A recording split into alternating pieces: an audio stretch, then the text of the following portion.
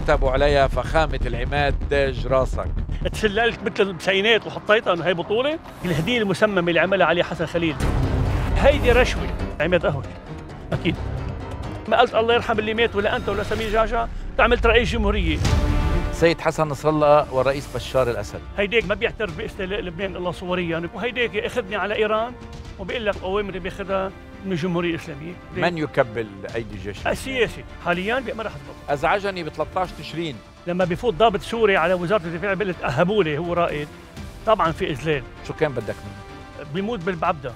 القائد بيواجه طلبت المشاركة بدورات تدريبية في سوريا. بدي مصاري.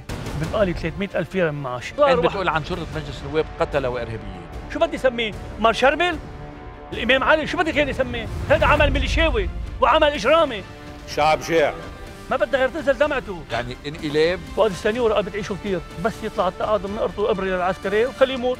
هن بدهم جيش ممسح إذا جوعوه إذا جوعوه بياكل لحمهم هالقد نحن بلبنان. بالدرك إيه لما وزير داخلية بيقول أنا رايح على على على انفلات أمني هذه بالدينه بعتذر عن التعبير. شو كان التعبير؟ العميد المتقاعد جورج نادر ضيف توني خليفي بسؤال محرج. الأحد 10 إلا ثلث المساء على LBCI وصوت بيروت International.